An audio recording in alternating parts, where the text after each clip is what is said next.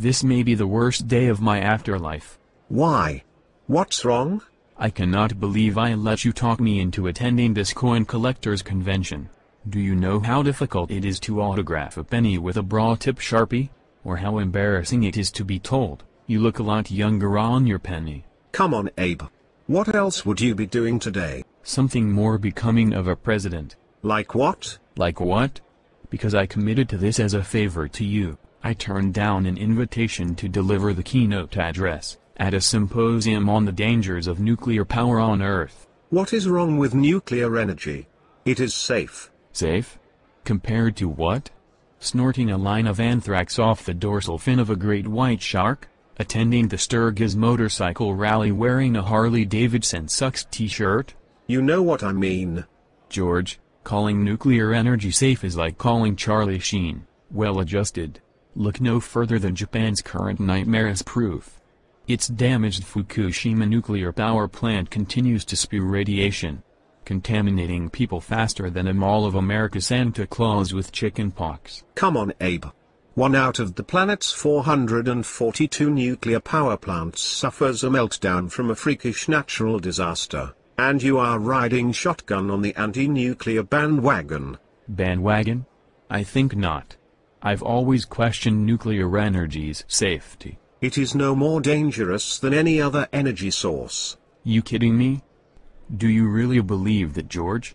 If a wind turbine tumbles to the ground the only casualties are pocket gophers. If a nuclear power plant malfunctions, hundreds of thousands of people are affected from radiation leaking into the air, seeping into the ground and spilling into lakes, rivers and oceans.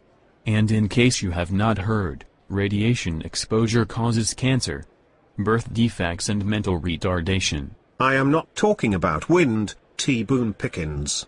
I am talking about fossil fuels. It does not matter.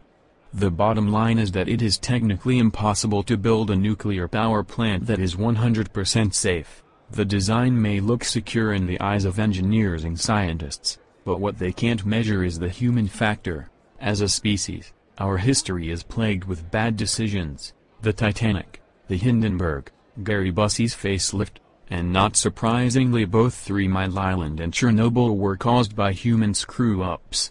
Granted an earthquake ignited Japan's current nuclear quagmire, but the extent in which radioactivity escaped to underscored the lack of proven contingency plans.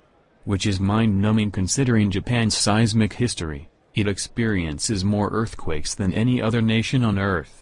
Building a nuclear power plant in Japan makes about as much sense as building a radio shack in Pennsylvania's Amish country. How's the coin fare? Jesus, you scared the hell out of me. Sensitive are we? Let us just say I once had a bad experience with someone sneaking up on me. Hey, what is your take on nuclear energy? Totally and unequivocally against. Nuclear power plants are terrorist magnets. What do you know? You are not on Rushmore. Despite what you may think, George, I do not suffer from Rushmore envy. Ben is right, George. Al-Qaeda views nuclear power plants like Lex Luthor views kryptonite.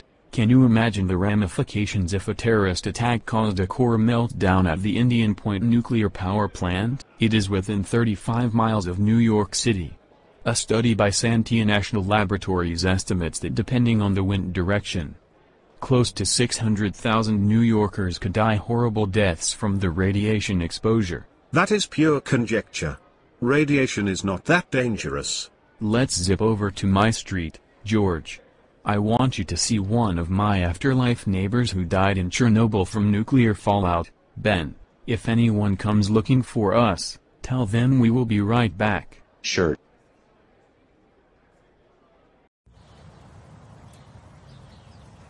Hello Mrs. Novikov. Hello Abraham. Tell Mrs. Novikov, George, that radiation is not dangerous. Wow, I did not know. The effects are truly horrific. Oh my gosh, and look at that guy.